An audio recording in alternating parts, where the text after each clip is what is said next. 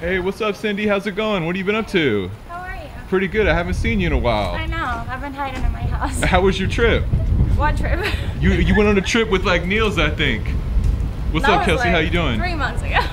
Okay. Oh, it was a while. So so what, what are you guys up to today? Um, we're just trying to take a picture. You trying to get what? We're trying to take a picture. You're trying to get richer?